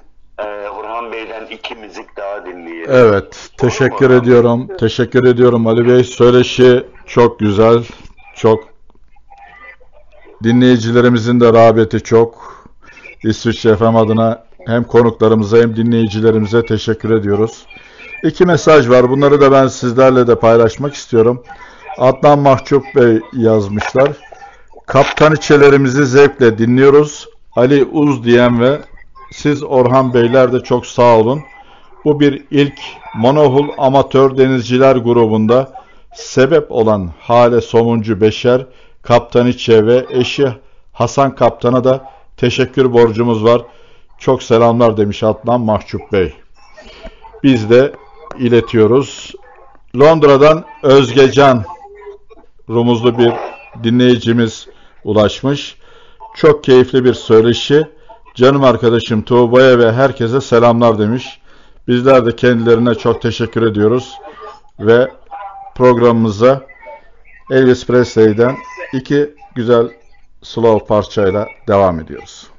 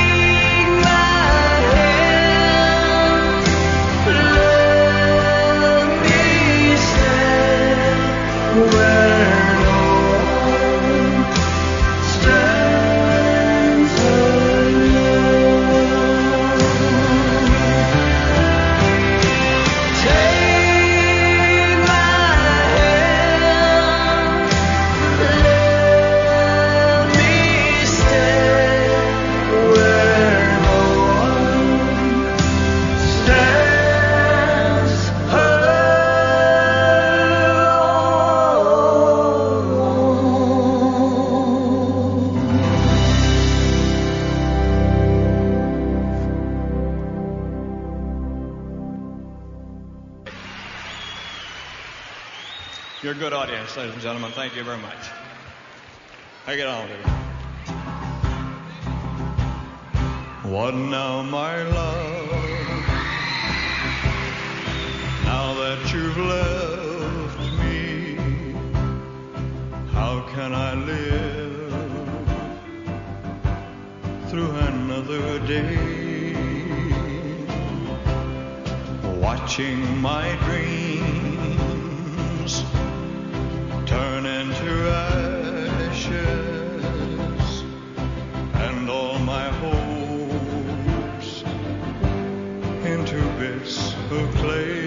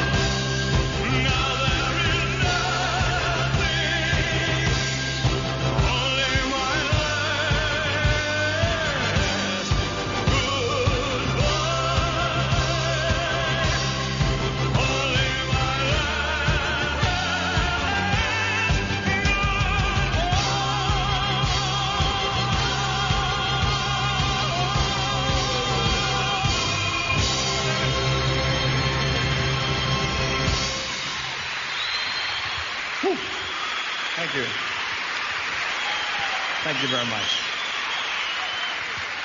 What? Değerli İsviçre FM dinleyicilerimiz, saatlerimiz şu anda 20.40'ı gösteriyor. Son 20 dakikanın içerisindeyiz. Bir mesaj İsviçre FM'e ulaştı. Onu da paylaşmak istiyorum. Almanya Helbron'dan İsmail Akyamaç adlı dinleyicimiz bize ulaşmış. Hanım kaptanlarımıza çok teşekkürler. Kendilerini takip edebileceğimiz yayınlarına nasıl ulaşabiliriz diyorlar. Bu konuda konuklarımız neler söylemek ister? Kendilerini takip edecekleri iz- dinleyicilerimizin kendilerini takip edecekleri bir sosyal e, medyaları var mıdır? Tekrardan soruyorlar. Buyurun. Bizim e, Rüzgar Nereye Eserse isimli bir Instagram ve YouTube kanalımız var. Ee, Tuğba Hanım sizden bir ricam var. Ee, bu Buyurun. sohbet bölümüne, radyomuzun sohbet bölümüne e, size e, ulaşabileceğimiz e, sosyal medyaları veya e, YouTube kanallarını e, yazarsanız çok sevineceğim. İki, iki konuğumuza da bundan rica ediyorum. Evet, web sayfamızda yürüyen bandımız var. Oradan tüm din, bizi dinley- dinleyicilerimiz oradan eksiksiz olaraktan adresi alıp takip edebilirler. Daha kolay olacaktır. Bu arada bir mesaj daha aldık Ali Bey. Bu mesaj Evet bu akşam bir yoğunluk gözleniyor. Bodrum'dan Tansu isimli bir dinleyicimiz bize ulaşmış. Harika bir yayın. Herkese sevgiler, saygılar. Tansu Ezer, Bodrum. Bizler de kendilerine teşekkür ediyoruz. Evet, söz tekrar sizde Ali Bey. Şimdi iki Son 20 dakikanın içerisindeyiz bu arada. Aha. İki konuğumuza da sesleniyorum. Ee, e, kıyılarımızda problemleri, bu marina problemleri olabilir, restoranlar olabilir veya karşı kıyıyla aradaki farklar olabilir, Ee, fiyat durumları olabilir. Bizlere neyi tavsiye ediyorsunuz? Bir turizmci olarak ve bir yelkenci olarak veya bir at sahibi olarak veya hatta hatta bir karavancı olarak e, aradaki farkları bize söyleyebilir misiniz? Ben önce e, Avrupa'dan bahsedeyim. Türkiye'deki fiyatları maalesef bilemeyeceğim. Avrupa'da çok güzel bir e, komünitesimiz var bizim e, f- e, sailing e, yapanlar için, yelken yapanlar için. E, devamlı konuşulur nerede e, ki e, limanlar nasıl fiyatlar uygun mu diye. Bazı limanların e, lagun olan mesela e, markalarıyla anlaşımları oluyor, anlaşmaları oluyor. Onlar e, daha ucuz oluyor. Bunları hep yolda e, yelken yaparken zaten e, araştırıp soruluyor. Bizim en güzel sorularımızdan biri nereye geliyorsun, nereye gidiyorsun, nerede çapa atıyorsun. Ondan sonra bir de bu sorular. Bu kışı nerede geçireceksin, hangi liman daha uygun diye.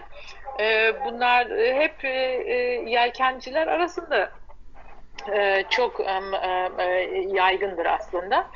Em, bu arada başka bir konuya değineceğim.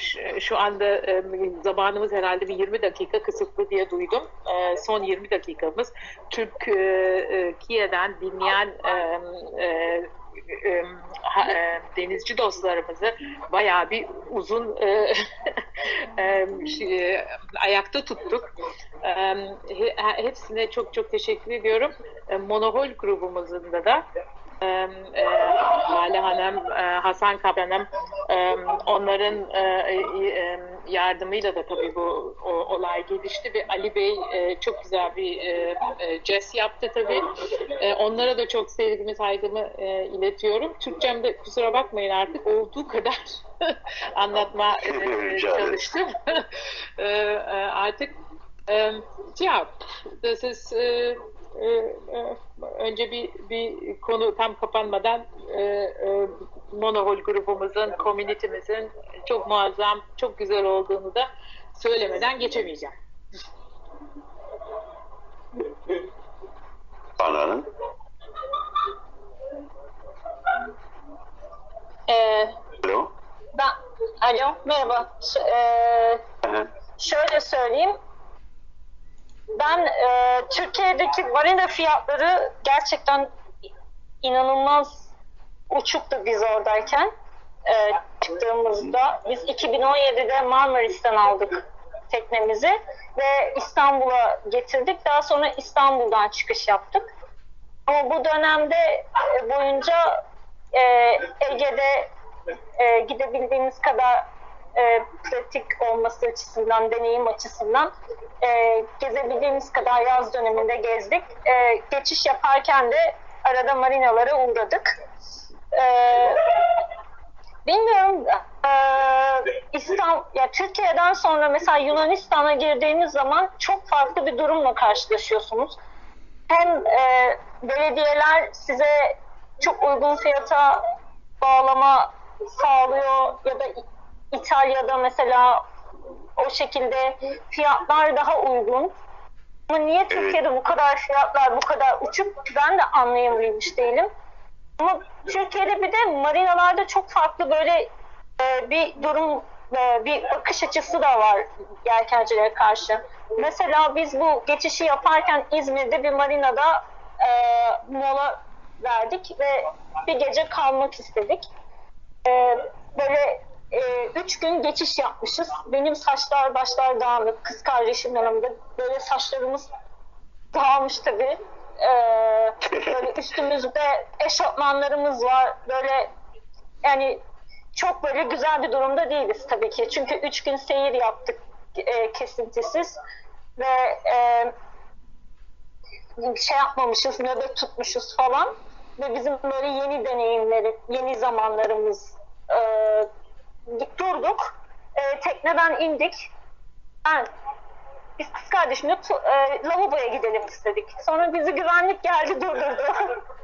Diyor ki siz e, burası sadece marinada olanlar için siz giremezsiniz dedi. Hani nasıl biz giremeyiz? Biz de marinada tekneden indik zaten geldik. Hani kullanacağız. Hayır siz tekne sahibi değilsiniz. Bu böyle tekne sahibi olmaz dedi bize. Ve biz böyle bir şok böyle. Ya, ben dedim illa ki böyle nasıl bir tekne sahibi bekliyorsunuz siz marinada? Yani e, böyle saçlarımız fönlü böyle ojelerimiz tırnaklı böyle mini etekle falan mı gelecektik dedim. Gece seyirden gelmişiz saat 11. Hani bu bizim halimiz. şeyler ay- e, topuklu ayakkabılarınızı da unutmuşsunuz. Evet öyle bir e, marinada tekne e, portföyü yani öyle bir profil çiziyor ki söyleyen kişi hani tekne değil başka bir dünyadan bahsediyor yani. Mesela bu beni çok dikkatimi çekmişti yani daha sonra zaten yol boyunca seyir boyunca biz Markus'ta üstümüz başımız yırtık. Çünkü deniz suyuyla yıkaya yıkaya zaten tekne evde pantolon, tişört bir de güneşten dolayı kalmıyor. Ayakkabılar yırtık, pantolon yırtık, tişört yırtık gezdik. Hatta dalga geçiyorduk. Türkiye'de olsa bizi kesinlikle yine marinaya almazlardı falan diye. Bilmiyorum orada böyle bir, yere daha girdik. Orada da aynı şekilde bizi böyle bir şey gibi hani böyle bir ikinci sınıf vatandaş gibi Aa siz gerçekten mi falan böyle evet ya dedik hani gelin bakın yani burada biz ya- yalan söylemiyoruz biz tekneyle geldik buraya hani iki defa bunu yaşa- yaşadıktan sonra bir de o fiyatları ödedikten sonra Avrupa'nın diğer kısımları cennet gibi geliyor. Hatta Karayipler'de bir kere girdik. Ee, Biz Karayipler'de yaklaşık bir buçuk sene hatta iki sene diyebilirim o bölgedeyiz. Ama o fiyatı ödemedik yani orada. Bir gün, iki gün girdik. Özür dilerim. İkisinde de ödediğimiz fiyat o kadar düşüktü ki ben şok oldum zaten. Ya dedim Türkiye'de bize niye böyle bir fiyat veriyorlar? Bence bununla ilgili bir düzenleme yapılması bilmiyorum e, hani bu konuda çok yetkin değilim ama bu konuda bir düzenleme yapılması gerektiğini düşünüyorum. Fiyatların bir şekilde e, makul duruma çekilmesi gerekiyor ki insanlar tekne alıp bunları bağlayabilsin. Bu e, yani yolda karşılaştığımız zaman Hollanda'da İta- Hollandalı kamyon şoförüyle karşılaştık mesela. Adamın öyle bir teknesi var. Diyor ki ben geziyorum. Ya da İtalya'da otobüs şoförü abiyle karşılaştık. Hatta hala çok arkadaşız, hala görüşüyoruz. Ya çok güzel bir tekne almış. Diyor ki ben geziyorum. Ya da Almanya'da çalışan işçi e, bir, bir fabrikada işçilermiş ve dediler bir sene ara verdik. E, tekneyle gezelim dedik, geldik. Hani ben bunları duyduktan sonra diyorum ki hani niye Türkiye'de bu şekilde bizde hani bir işçi ya da bir ne bileyim bu şekilde insanlar niye böyle bir özgürlüğü yaşayamıyorlar? Niye hani böyle bir durum oluyor? Bir de işte dediğim gibi marina fiyatları zaten tekneyi aldın diyelim uygun fiyatı ya da bir şekilde yaptın ya da bir şey oldu inşa ettin. E, koy- koyamıyorsun. Çünkü o fiyatlar Ee, inanılmaz size- uçuk.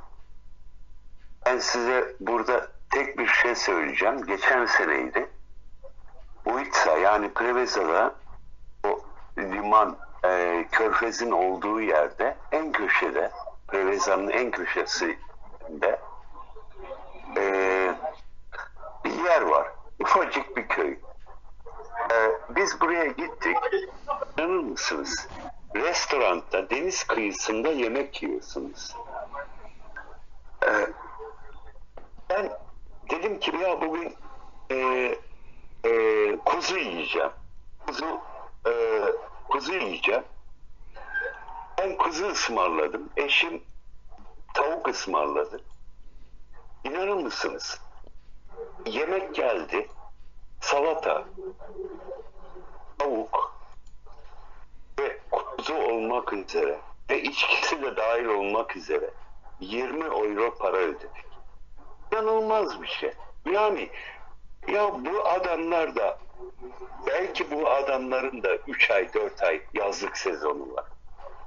Biz niye niye bu kadar paralar alıyoruz?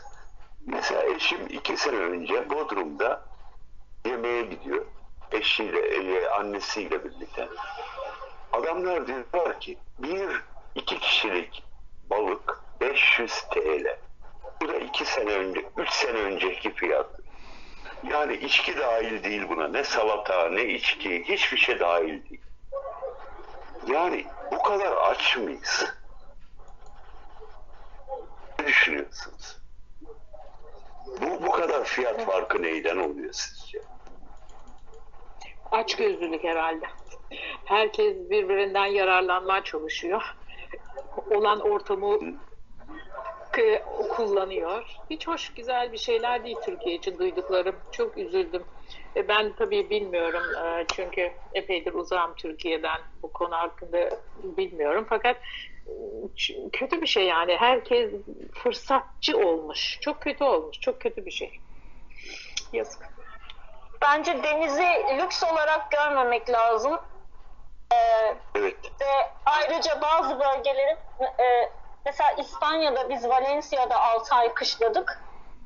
Ee, orada bütün orada gördüğüm şey ya da Antiga'da da aynı şekildeydi.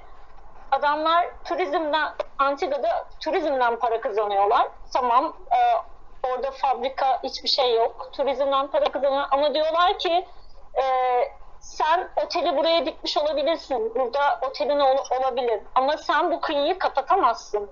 Bu kıyı halkın. Ve siz orada o en lüks 20 bin euroluk o adada bahsettiğim daha önce adada bile karaya çık orada çıkıp o adaya adayı gezme hakkınız var. Çünkü diyor ki burası denizden belli bir metresi halkındır. Buna hiç kimse dokunamaz Yaşamaz. ve bunu ge- ge- gelebilir, burada yüzebilir ki biz yaptık. Çok garip bir his. Yani böyle bar, bar, Barbe, Antigua Barbuda'da, Barbuda'da böyle tek böyle işte da, Prenses Diana zamanında gittiği için onun adını vermişler. Böyle çok lüks bir yer. Normalde hani gidemem, gidemem yani kapısından giremem. Demir attık oradayız. Ya dedik ki hani yani izin vermezler yani. Ama dediler yok hayır burada öyle bir şey yok. gidebilirsiniz. Sonra indik, etrafında dolandık falan. Bence bu büyük bir şey. Hani Türkiye'de bununla ilgili de otelin orada olması ya da böyle bir beach club'lar falan var. Diye bir şey gerek yok. Ya denizler bence halkın olmalı. Marinaların fiyatları azalmalı.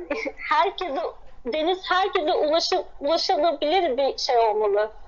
Hani biz Akdeniz Akdeniz kültüründe yaşıyoruz diyoruz. Akdeniz kültürü demek deniz demek yani. Ee, bir İtalyan, bir İspanyol adamların teknesi olması ve bununla gezmesi onlar için gayet normal. Hani bir arabası varmış gibi düşünüyorlar ve bu onlarda bir kültür haline gelmiş.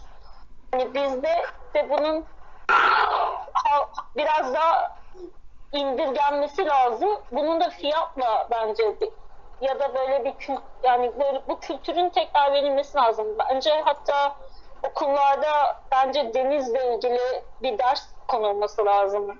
Çocukların e, denizlerle işte denizlerdeki e, bu kirlilikle ilgili neler yapabilirler ya da deniz kültürüyle ilgili mesela İstanbul'da denizde yaşıyoruz ya da konuştuğumuz zaman Markus şok oluyor. Ya diyor ki siz üç tarafı e, denizle çevrili bir ülkedesiniz ama insanların çoğuna sokakta soruyorum yüzme bilmiyorlar. Niye? Yani bunun bir şekilde bu deniz kültürünün çocuklardan başlanıp bence eğitime bir şekilde dahil edilmesi lazım. Çocuklara tekrar bu sevginin aşılanması lazım. Biraz böyle şey Ben gibi size- konuştum ama siyasetçi gibi özür dilerim. Ben size bir katkı daha sunacağım. Ee, ülkemizde ne yazık ki bu, bu, bu sadece bu hükümetle dahil değil. Yani yıllarca e, bir denizcilik bakanlığımız yok. Yani e, İsviçre'de denizi olmayan bir ülkede bile bir denizcilikle sorumlu bir e, bakan yardımcısı var. Şimdi e, bizim ülkemizde e, denizler arası şehir yani şehirler arası deniz e, e, yolculuğumuz kaldırıldı. Eskiden vardı biliyorsun Samsun'a, İzmir'e, İstanbul'dan Çanakkale'ye veya diğer kentlere. Bunların olmasını istiyoruz.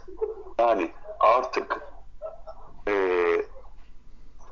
yol balıkçılığının hiç olmazsa iki sene ya- yasaklanıp balıklarımızın tekrar gelecek nesillere ulaşmasını sağlamamız gerekiyor. İşte konuşulacak çok şey var. Motor denizcilikle sadece bu iş bitmiyor. Yani biliyorum hepimizin sorunları var ama duyarlı olmamız lazım. Bizi sevenlere, bizi eee, dinleyenlere diyoruz ki bizi takip edin. Ne yazık ki haftaya yokum. Ameliyat olacağım. Ee, sizi pazar günü yalnız bırakıyorum ama bundan sonraki haftalarda bu konuları gayet iyi bir şekilde konuşacağız. Sayın iki, iki kaptan içeme çok teşekkürlerimi sunuyorum bizlere katıldıkları için. Bize Bir teşekkür kadın ederiz. olarak Kaptan. Teşekkür ederiz. Bizlere bir e, kadın olarak Türkiye'mizde veya dünyamızda, denizlerimizde nelerin beklediğini, nasıl olduğunu ve bunlara güzel bir örnek verdiniz. Bütün kadınlarımızı denizci olmaya davet ediyoruz. Amatör denizci olun. Mesleğinizi denizci olarak seçin. Kaptan olun. Yüksek okullara gidin. Ee, e, söyleyeceğimiz şeyler bunlar, güzel şeyler. Hepinize iyi akşamlar diliyoruz. Hepinize bize katıldığınız için teşekkür ediyoruz. İyi ki varsınız. Teşekkür, biz de teşekkür ederiz. İyi akşamlar. Onun geçmiş olsun Ali Kaptan. Bizler akşamlar. geçmiş olsun. bizler de teşekkür ediyoruz. Sağ olun, var olun. Ben de bu arada iki kelime ilave etmek istiyorum. Tuğba Hanım'ın fiyatlar üzerinde özellikle Türkiye limanlarımızdaki fiyatların yüksekliği aynı sıkıntı havaalanlarımızda yaşanmakta. Ee, burada mesela İsviçre Hava Yolu'nda Zürih'te gittiğiniz zaman da yolculuk esnasında dışarıdaki büfeden aldığınız suyu en fazla belki bir frank fark, farkla içeride alabiliyorsunuz. Çok fahiş bir fiyat yok. Ama Türkiye'de maalesef bir kolaya 18 lira 20 lira veriyorsunuz. Bu da e, her şeyi devlete bağlıyorsunuz diyecek diyenler belki olacaktır. Fakat evet devlet her iş devletin başı. Çünkü e, zannedersem oradaki havaalanlarındaki ya da bu marinalardaki kiralar oldukça yüksek. Oradaki esnafın da o kirayı çıkartabilmesi için o yüksek meblağı koyuyor diye düşünüyorum. Yoksa yani sürümden kazanacağı bir yerde niçin 20 liraya bir kolayı versin, bir şişe suyu versin? Ee, bunun da düşünülmesi lazım. Her şey devletten kaynaklanıyor. Devlet buna el koyarsa, kontrolü sağlarsa her şey daha uygun hale gelecektir diye düşünüyorum. İsviçre FM adına çok değerli Ali Bey, ben de teşekkür ediyorum. Konuklarımız Nilgün Hanım Portekiz'den katıldılar. Aynı vaziyette Tuğba Hanım Türkiye'den katıldılar. Her iki kaptan içiye teşekkür ediyoruz. Bu arada Biz de teşekkür ederiz. bize teşekkür ulaşan bir şeyde. Ee, Tuğba Orhun Hanım e, Rüzgar Nereye Eserse bu YouTube kanalı mıdır?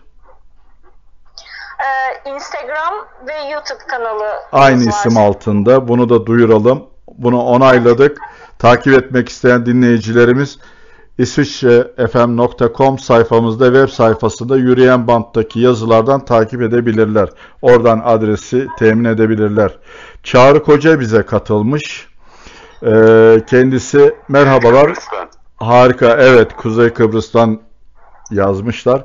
Merhabalar, harika bir yayın. İyi ki böyle bir yayına ulaşabildim. Maalesef saat farkını gözden kaçırdığım için biraz geç kaldım. Bu tecrübe dolu sohbeti tekrar dinleyebileceğim bir platform YouTube sayfası var mıdır diye soruyor. Ee, Facebook'ta İsviçre FM beğen sayfamız, İsviçre FM ve TV beğen sayfamızda bu akşamki yayınlanan canlı yayınımızı bant olarak, kayıt olarak oradan paylaşacağız. Dinleyemeyen dinleyicilerimiz oradan dinleyebilecekler. Bunu da bu hafta ilk defa başlatıyoruz. Bundan sonraki programlarımız aynı şekilde kayıt altına alınacak ve beğen sayfamızda ve Facebook'ta paylaşılacak. Marin Pano yazmış. Abi iyi yayınlar demiş.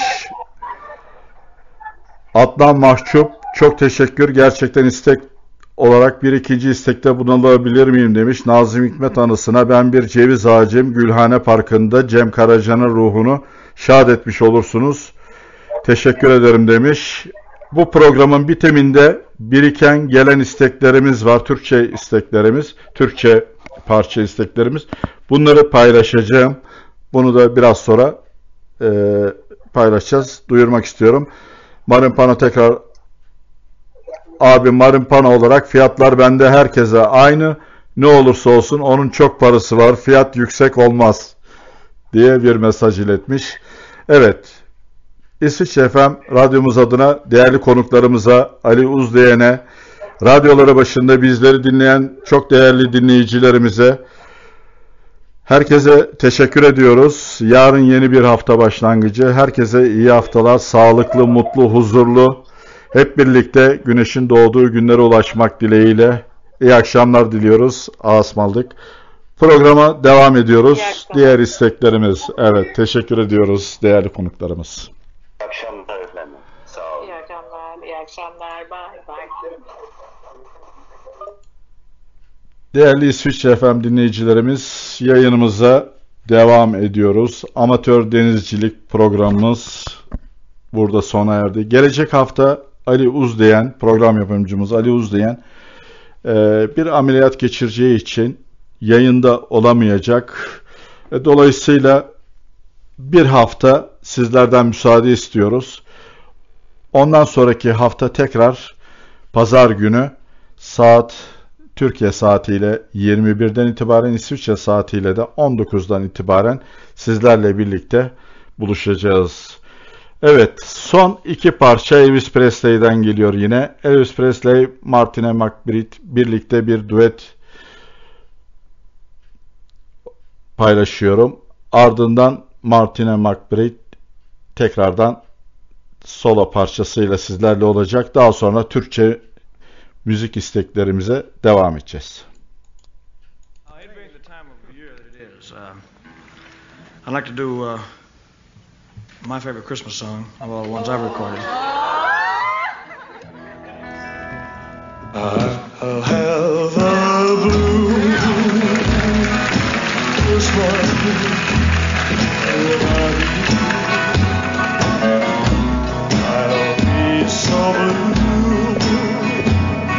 just thinking about you. Decorations of red on a green Christmas tree won't be the same, dear.